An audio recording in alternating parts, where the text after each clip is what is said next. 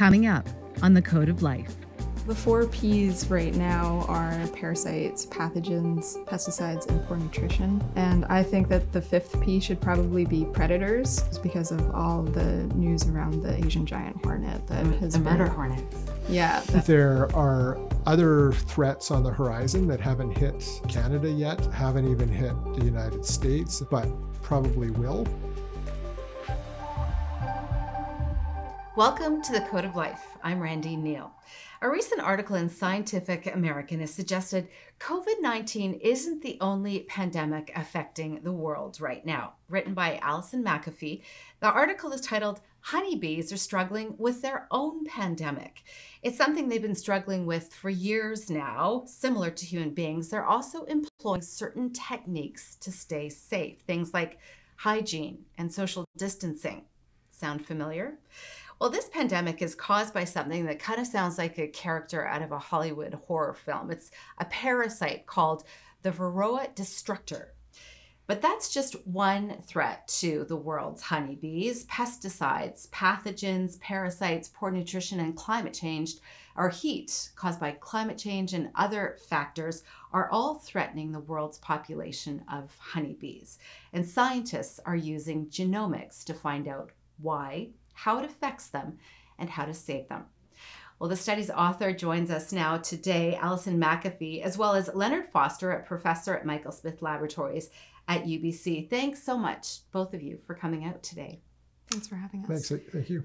Let's talk first about an article that you both just co published together um, this week in Nature Sustainability, and it talks about the dangers of heat affecting honeybees.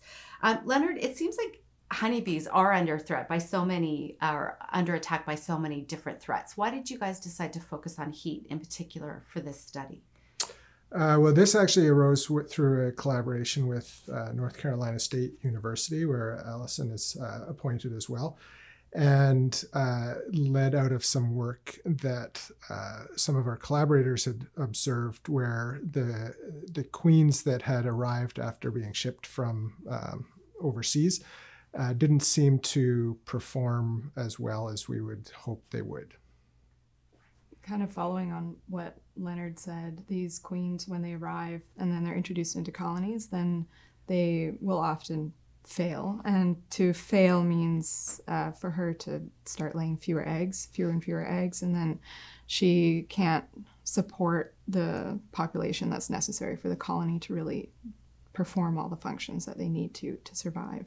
So the population dwindles over time and eventually it'll die mm. unless the queen is replaced. So that can happen for a variety of reasons. And something that our collaborators found four or five years ago now is that failed queens tend to have lower sperm viability. So queens store all the sperm that they need for their whole life to fertilize eggs in their spermatheca, which is a specialized organ in their abdomen. And uh, he found that the failed queens had more dead sperm inside of them, so they couldn't fertilize so many eggs. And one of the reasons that they found also back then was temperature stress. So, like you were saying, kind of honeybee one on one, a a queen can carry a, a- enough sperm to lay, for example, how many eggs? Uh, maybe around a million in her lifetime. I think that estimates her around 250,000 to 300,000 a year. so, she could store the sperm potentially for up to five years as well, right? And of course, one queen per colony. So, Mhm. how significant is that? Uh, well, a permanent change to the queen's reproductive capacity is a major decrease in colony fitness. Um, so she is the most significant individual in the colony. She's the one that everybody else kind of depends on to keep the population up. So if something happens to her, then the colony kind of goes into emergency mode and starts rearing a new queen right away. Um, and if they can't do that, then they're they'll perish. How common is, is heat stress on, on honeybees, Leonard? Uh, well, that was part of what the study was aimed at trying to figure out because uh, what we don't have a good handle on yet is uh, when we get a queen or if a beekeeper gets a queen from uh, uh, someone who's providing them, uh, and it fails, we don't really know why it f- is failing. And, And does so- it typically fail? Is there a high failure rate? Is was that part of the impetus for trying to figure this out? I- exactly, yeah, and and an inconsistent failure rate as well. Sometimes they were mostly fine, and then sometimes a large fraction would fail. Uh, and these early investigations led to the suggestion that heat stress was uh, one of the major causes of that. And this study that we just completed. Uh, one of the main goals was to try to use proteomics to identify uh, biomarkers that we could use to actually diagnose whether something had been heat stressed or not. Prote, Proteomics. and that is That is, uh, you mentioned genomics earlier. Uh, proteomics is a uh, offshoot of genomics where we look at all of the proteins in a sample. If genomics is the study of the whole genome or all the genes in an organism, uh, proteomics is the study of all of the proteins that are derived from those genes. Uh, and if you heat stress, in this kind of an example, if you heat stress a, an organism, its genome doesn't change, but the proteins that are derived from that genome uh, could change and could show up as a diagnostic signature indicating some kind of stress. And uh, that's akin to a lot of the the blood tests that someone might get if they go to a hospital and have blood drawn um, for any kind of disease.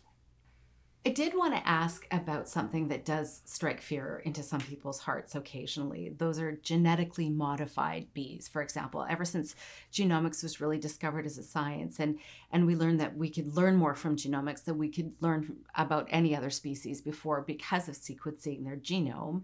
Um, there's also been a fear that we could create a, a Franken bee or genetically modified bee, for example. Um, Alison, is are those fears valid, and is this something that we're trying to do? So, scientists have actually already created genetically modified bees uh, using a couple different techniques. Back in 2014 was the first time it happened. So, it's been in the realm of possibilities for a little while now. And I think that what people are worried about when they think about this is that some kind of company will start producing genetically engineered bees to, for example, be resistant to pesticides or maybe resistant to certain diseases or something like that, and then sell them back to the beekeepers, a lot like they have done uh, in the past with seeds for crops. And I think that uh, when I talk about this to people, I try to emphasize that there's no blanket answer of genetic engineering is good or bad. Um, it really depends on the specific context and the problem that we're trying to solve. So, for example, uh, I wouldn't think that it's a good idea to try to create bees that are resistant to pesticides because when you think of the bigger context of what that would mean, then that would probably promote over application of pesticides. Uh, on cropland, and then all the other insects that are n- not privileged to this resistance would uh, their populations could be decimated. So uh, we've seen similar things happen with herbicide tolerant crops um, in the past. So, something like in that context, I don't think that's a very good idea for a practical application. But then, an example, uh, another example where it may actually be the ethical thing to do would be in mosquitoes, where people are trying to engineer mosquitoes to um, to not be able to reproduce, and so their populations will crash over time. And the motivation for that is because malaria kills around 200,000 people every year. So when you in that context, then you know maybe that is a really good idea and something that's worth exploring. Leonard, I think um, to Alice, Ali's point as well, um, I think it was a study that you wrote when we were ta- when talking about how bees stay safe, and they do use hygiene and social distancing. And wasn't it proteomics that helped you discover um, the, the hygienic bees and help beekeepers try to keep those bees healthy to keep an entire colony healthy? Yeah, so we didn't actually discover the the hygiene behavior that had been um, well studied in the past, but what we did was to use this uh, type of genomics uh, technique called proteomics to identify differences in the proteins in hygienic bees from non-hygienic bees, and then use that signature to selectively breed for bees that had higher levels of hygiene. And their uh, big distinction is that we're selectively breeding from the natural population rather than trying to genetically modify uh, the the behavior into the bees, um, which, as Ali said, is is a long, long ways off. So let's talk about the other threats that honeybees. I mean, they they have a tough time and they're still surviving. Um, but we call it the four P's. And, and Alison, you actually said it's possibly the, the five P's. It's what what is it and, and, and what are all the different threats? So the four P's right now are parasites, pathogens, pesticides, and poor nutrition. And I think that the fifth P should probably be predators. The reason why I thought of this was because of all the news around the Asian giant hornet that The- has the been- murder hornets. Yeah, that's right. So-called murder hornets. Um, they're really not so murderous, and that's probably an embellishment that name. But uh, that got me thinking, like, okay, predators is probably a fifth P if this hornet establishes itself. But then I realized that we already have lots of hornets and wasps here that do decimate the colonies. I know a beekeeper we both know very well. She had 40% of her colonies perish one fall just a couple of years ago from yellow jacket wasps. So, And there are other predators of bees too, like bears. Canada probably Yeah. loses more colonies to bears than um, Asian beekeepers lose to the Asian giant hornet. So What is the biggest threat? Would it be the parasite, the Varroa destructor right now? Yeah, uh, worldwide, uh, the it's a little hard to get really accurate data, but generally every different jurisdiction agrees that that the parasite or the varroa mite is their largest cause of bee death. And is anybody studying that using genomics or proteomics to, to be able to maybe selectively breed a bee that, that is not prone to that parasite? So that that was uh, to take you back to the hygienic behavior. Hygienic behavior, one of the uh, things that that defends against is the varroa mite. So that was part of the motivation there. Uh, there are a, number of other uh, investigations into the mite using genomics as well, or d- different aspects of genomics, including uh, looking for some of the signals that attract mites to bees and possibly being able to interfere with uh, that process to stop uh, stop the mites from breeding. And there's lots of fundamental science going into understanding the interactions between uh, the mite and the bee. And the mite, one of the reasons that the mite is so damaging is that it is a vector for viruses, and the viruses themselves can be very damaging to bees as well. So there's there's a lot of work going into understanding those viruses also. How has genomics changed the way that we study honeybees? And I and I want you to, to start with this, Ali, because I, I think you didn't really know a life before genomics. You're you're kind of post um, educational life. yeah, that's right. Uh, it was kind of funny to go back in time and think about what I was doing at the time that the honeybee genome was sequenced. And I realized I was in grade 10 of high school when that happened. So, and so well before I started my scientific career. Um, and so I don't really know a life pre genomics. Uh, right from the start, when I got into research, that was the hot tool that was available. So um, I don't have a great perspective on how it has really changed the field of research. Leonard, Uh, so I started in bee research when I was in grade eight or nine. Uh, so this was well before uh, genomics. And I, I guess I was uh, really into serious bee research when I started university at SFU. Uh, and there, the only kind of molecular techniques we were able to use on bees wa- was uh, methods for detecting the pheromones that bees produce. And uh, that was pretty much the extent of any kind of molecular work that one could do. Genomics changed all that. Um, with in in other model organisms such as uh, uh, flies or worms or mice, uh, we have a lot of tools for manipulating the the genes or detecting proteins or or genes that might be there.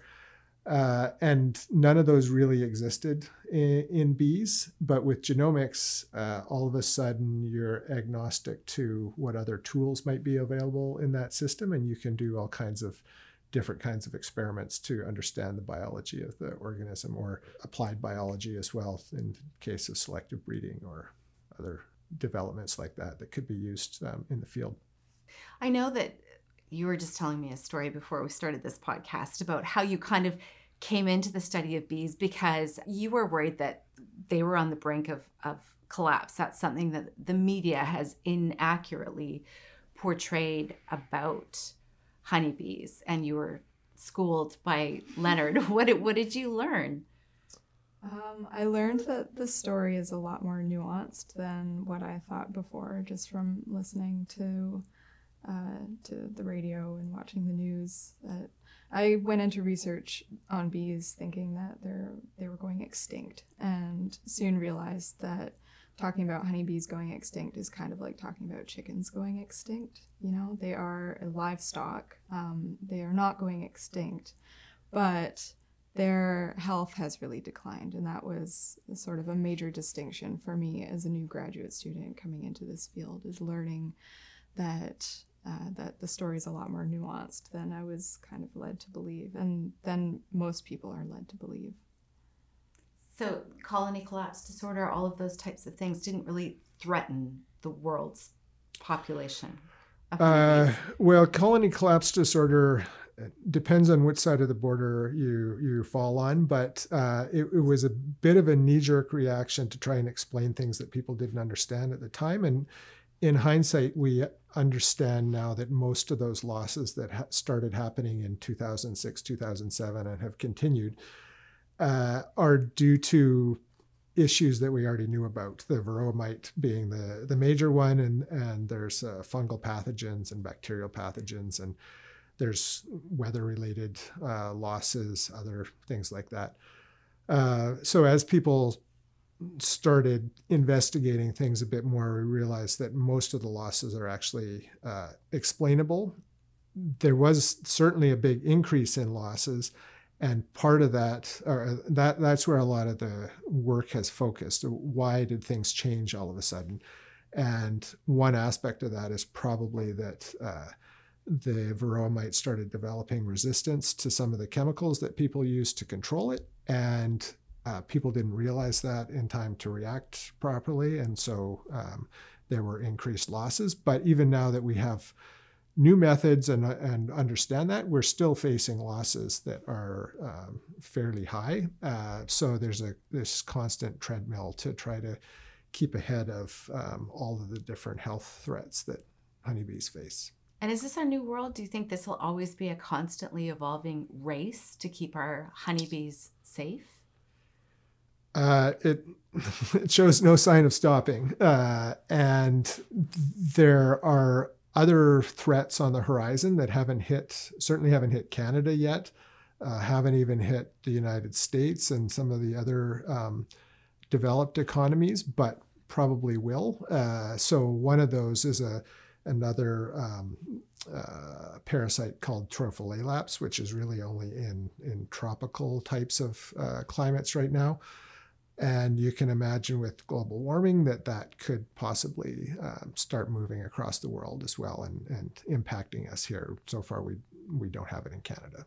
I'll just add to that too. They they were first identified in the Philippines, but now those mites, Tropilaelaps, have moved into colder regions of mainland China and South Korea too, which do have cold winters, kind of like we have in Vancouver. So um, with the climate changing, they'll their access to different regions will uh, like different different climate or different regions will be favorable for them to live in.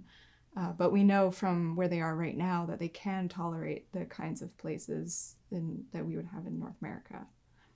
So potentially another pandemic coming yeah. to hit our honeybees. Yeah, exactly. Let's end with your most favorite fact about honeybees, your most favorite stat, or the, the thing that you love most about them, um, and and why they're so important to our world. A couple of stats, and either of you can hmm. go first. You decide. Yeah, I have to think about that. How much do they contribute to our economy every year? Is it 5 billion in terms of Uh, yeah, and so in Canada, the estimates are between four to five and a half billion dollars, and uh, ninety-five percent of that is through pollination, and about eighty percent of that is through poll- pollination of canola on the prairies, uh, and the rest is fruits and vegetable pollination. what's your favorite thing about honeybees?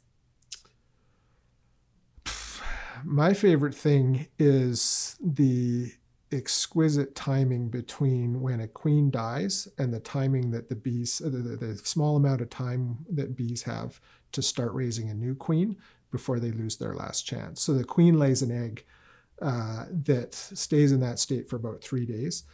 And uh, if she dies the last egg she lays is going to hatch in three days. It takes the colony about a day and a half to two days to realize that the queen is gone and they've got uh, that narrow one day window or so to find those those eggs that are remaining and start uh, raising a new queen out of those eggs or else like ali said they they could perish I love how the women, the females, do most of the work in colonies. Okay, what's your favorite? Your favorite stat and your favorite thing about honeybees?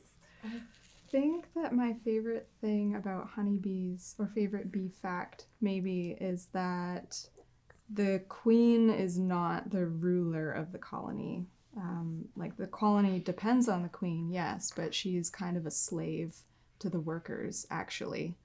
Um, And the workers are females. Yes, the workers are females as well. So, bee biology 101 a colony has usually one queen, mm, tens of thousands of workers, and then maybe seasonally around 5 or 10% drones, which are the males. And the so the workers are the vast majority of the population in a colony and the queen is kind of a slave to them because her job really her only job is to lay eggs all day one after another. She'll weigh one to two times her body weight in eggs each day. So she has nothing else to do. Um, and she's so busy doing that that she needs to be fed by the workers every 20 minutes. She can't even stop to feed herself. Um, and in that way, she's really not so much the leader of the colony. The workers kind of are. They do all the fascinating behaviors and they produce the honey that we love. One worker produces how much honey in its lifetime? I think that it's the estimate is like a teaspoon. yeah about Something five like mils Yeah, like less than a teaspoon, right? Yeah. And and a worker lives only Six to eight weeks in the Yeah. summer. yeah and so she'll live six to eight weeks in the summer here in northern bc or alberta where the days are longer she'll survive for about two weeks because they're working like 20, really 20 hours a day yeah We could talk about this forever. Yeah. Thank you. Yeah, that's why Thank it's you. so hard know, to decide. exactly. Allie and Leonard, thank you so much for your expertise and your important work. And I look forward to speaking with you again. okay thanks very much Thank you.